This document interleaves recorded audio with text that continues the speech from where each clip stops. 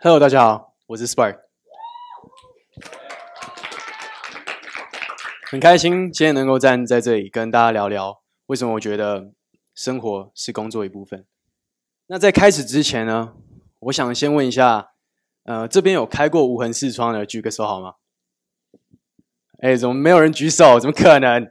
好吧，好，那你们无痕视窗呢？你们都在查什么？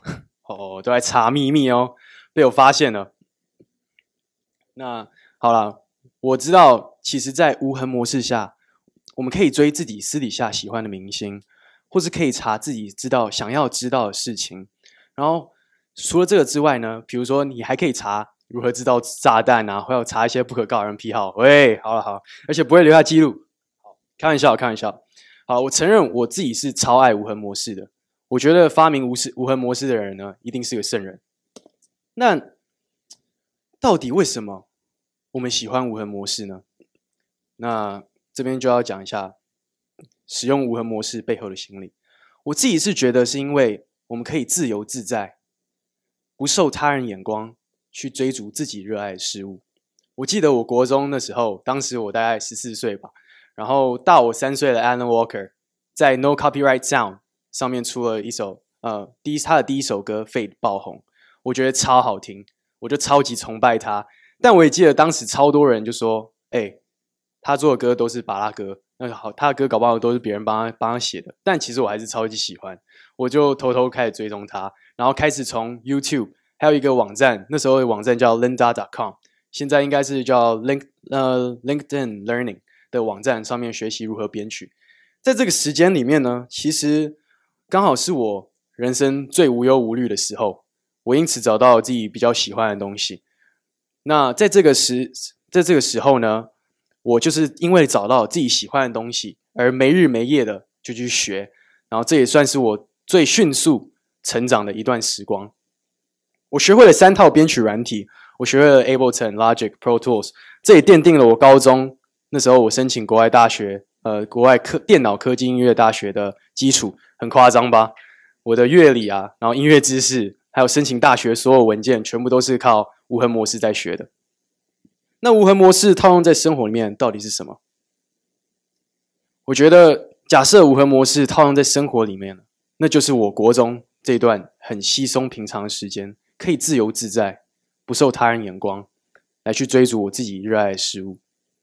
而这个时刻呢，其实通常都是在课业之余，所以常常被联想成：哎，我是在休息。像我爸妈每次就觉得，哎，我看手机，我看电脑，然后干嘛的？只要只要不是在读书，那我都是在玩。就算我只是弄报告好了，也是在玩。好，不管你怎么去称呼这段休息时光，也可能是称呼它叫休息，可能叫它无痕模式。那我暂时在这里，我先定义它为生活。那我觉得学会了生活呢，就是学会了快乐，这是我觉得最重要的。这种快乐呢？可能就像是你断考完去大玩特玩，或者你工作完，然后跟朋友聚会一样，就是超级快乐。这种快乐呢，是会对我来说是会上瘾的。我就会一直想去追求这种快乐，我就一直想，一直想去追它，然后一直去完成它。但我其实想讲的是，你人生中会经历很多很多你不可控的因素。像我在钻研音乐的同时，我就要面对许多自己不喜欢。然后不愿意的事情，比如说学校课业啊、家庭的期望啊，那我们等等这里我们等等会提到这件事。好，这些看似很阻挡我们喜欢事物的东西，却又可是他们同时也是一个反面嘛。同时，他们会让我们中间的这一段生活休息显得非常有意义。因为休息呢，所以我们有力气去工作；但因为工作呢，我们才珍惜休息。那我就来分享一下我自己对生活的体会。像，呃，我个人呢，就是非常的喜欢打电动，然后跟我朋友们也是超爱打电动，所以我觉得生活是工作的一部分。这样，在国高中那个小屁孩的时刻，我跟我朋友呢超级爱玩，每天呢就是一直在疯狂的打电动，在混。但是我们也用了这段时间呢。去找到了自己的热情。我找到了音乐，然后我朋友们找到了电影，然后我们就弄了一个超级不专业的小剧组。当时我们还是国高中的小屁孩哦，然后我们去，我就负责弄配乐，他们弄影片，然后我们用自己课余的时间，像是暑假、寒假，甚至放学，零零总总加起来，拍了一支大概五十几分钟的短片。然后那时候我们就去冒充大学生，去报名了这个影像星星奖，然后结果猜怎么样？我们居然一群屁孩入围了。然后呢，我们就几个几个人去会场，然后看到其他大学生这样子。这时候，我们我的我跟我朋友们也因此因为这件事情呢，去接了一些小案子，也开始用自己自己喜欢的东西，开始用自己生活上面学到的东西赚钱，其实是跌破爸妈的眼镜的，让他们知道就是，哎，我不是只有在玩，其实我有在充实自己。有了这个经验之后，我们其实花了更多时间在打电动。啊，不是，是生活。那我们又利用这个时间呢，去自己看影片学习，打撞球、打篮球，各种等等。其实这些看似毫无意义的生活时刻，却让我们接触到更多人。然后我们也接接到更多的这种小广告案子。然后也因为这样，我就认识了呃配乐这个呃配配乐也因此更变得更进步，甚至认识了这个金马奖最佳电影配乐的林尚德老师。呃，后面而开启我的音乐之路。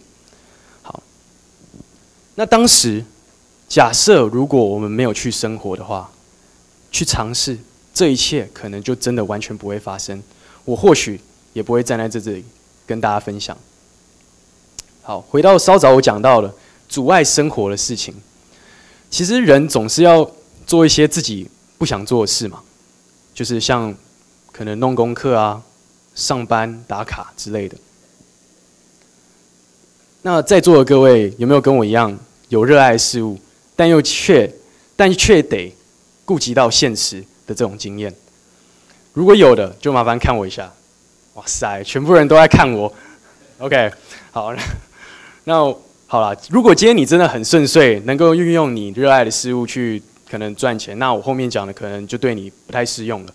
但我今天想讲的是，就是社会普遍对于生活的这种观念。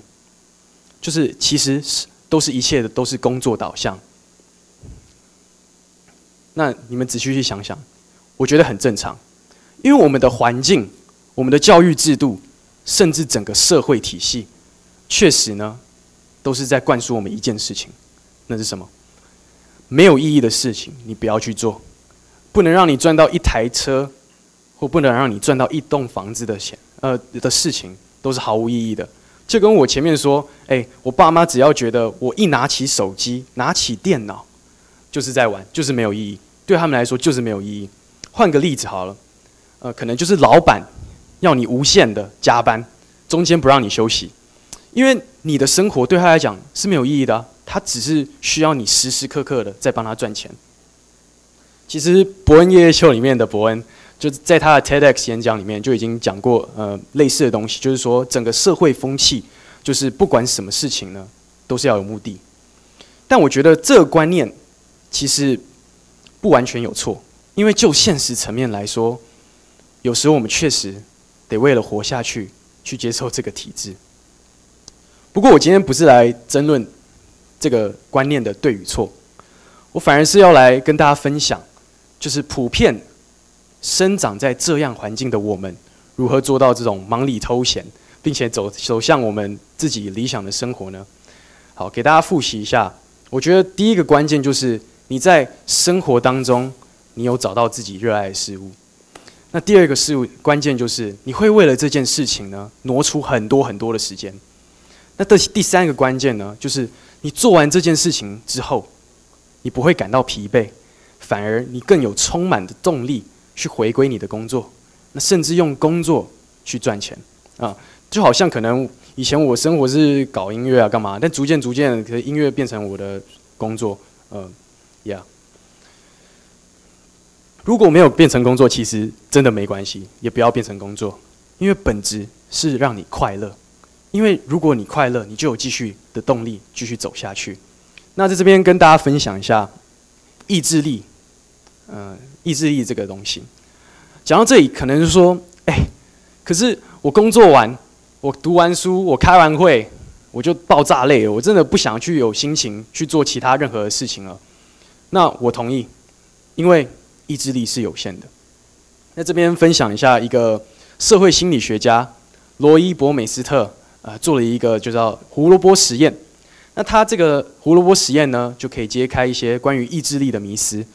那实验是这样进行的：首先呢，他们在桌上放着刚出炉的弥漫巧克力味的饼干，还有一碗长得很难吃的胡萝卜，然后将呃很饿的饿着肚子的大学生呢分成两组。那一组呢是可以去吃这个巧克力饼干的，那另外一组呢只能吃这个看起来超难吃的胡萝卜。那结果猜怎么样？他给这两组人去解一道，呃，不能解不开的谜题。那结果如图。那吃饼干的学生呢，平均花了二十几分钟时间去尝试解题，但吃胡萝卜的，你看，这只有花了八分钟就直接放弃了。这是为什么？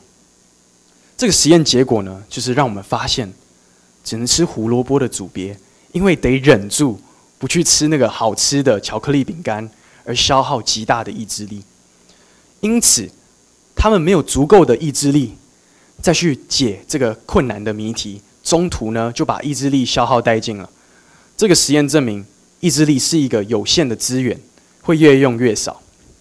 但同时呢，我觉得它也证明了另外一件事情，是什么？我觉得就是当我们允许我们自己快乐。去吃大家看似不营养、没有意义的巧克力，你反而而不是花时间去抵抗快乐，我们反而有更多的意志力呢，去面对人生的难题。所以，是不是人生追求的本质就是追求快乐呢？而这个快乐，其实就是我刚才讲到的，刚才定义过的，就是你的无痕模式。你的生活、你的自由、你的热情等等，我自身的理想就是对于生活的执着，就是在做这个结论之前呢，我最后呢再介绍一下我自己，可以思考一下我的背景，还有来判断我刚刚讲的话是不是对你能够能否套用在你们自己身上。或许有些不适用也没有关系，但也许你听完我的故事之后，可能你会受到一点启发。那现在我。是一个读电脑科技音乐系的呃大学生，同时也是一个音乐人，是一个宅炮，那是个对未来充满着问号、恐惧，又抱着一点点希望，但最重要的是，我是一个会追求快乐的人。我发现我在面对很多需要做选择的问题的时候，我都会选择比较快乐、比较特别、比较属属于我的答案，像是可能选择要。回来台湾闯闯，休学回来台湾闯闯，又或者是像可能选择音乐系啊之类的。就算事后检讨，常常发现可能有更好、更多、更好的选择，但无论如何，在选择当下，我都是确保我自己是有开心的去做这件事，并勇敢面对我自己做的这个选择。好，我今天讲了许多，但最希望今天各位能从我身上带走的，就是在面对。艰难问题的，还有现实的时候，你不要忘记休息，你不要忘记生活，因为生活也是工作一部分。在那之中，你可能会找到你当初的初衷，那份自由跟热爱。那份自由跟热爱呢，就是会使你促使你前进、源源不绝的动力。谢谢大家。